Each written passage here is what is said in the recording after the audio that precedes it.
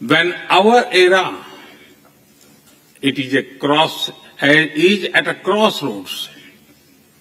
I am here to speak about our calling for this century.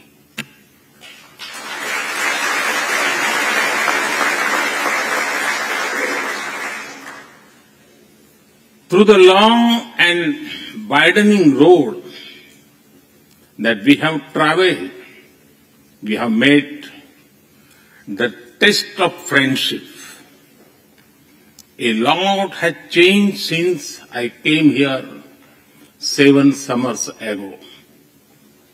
But a lot has remained the same, like our commitment to deepen the friendship between India and the United States.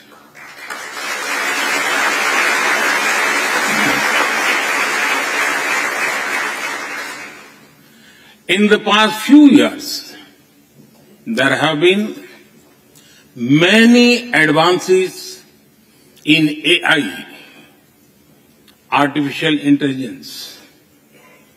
At the same time, there have been even more momentous development in another AI, America and India.